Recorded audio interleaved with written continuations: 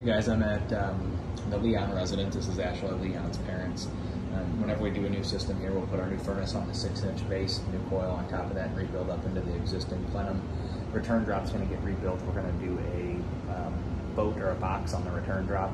So we'll do a new box up there to span those two joist spaces. It needs to be 35 inches from side to side. Um, and then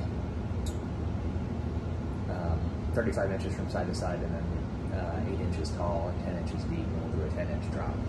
Um, should be able to just push all the way up against the edge of the joist there, and that'll give us enough space for our, um, our media cabinet. Maybe have to put a 2 or 3 inch offset in the, in the drop. I'll get some measurements for that.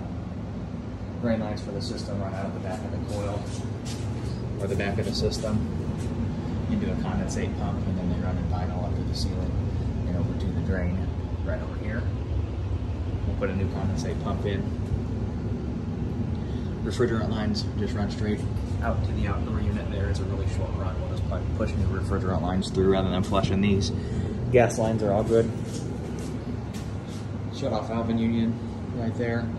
Uh, there is a humidifier mounted to the return side. We'll just put a new humidifier back in whenever we redo this unit. Probably not to the front of the return.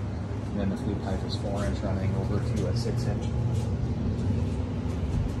And then that goes into a T. There's not currently a um, liner in the chimney, so we'll have to put a liner in the chimney.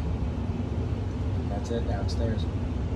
Condenser, we'll pull this unit up, set our new one back down in the same spot on a new pad. New disconnect box, electrical whip, and flush and pressure test. Or I'm sorry, we're going to replace the line set. There's your chimney. Um, so we can do that ourselves. We don't have to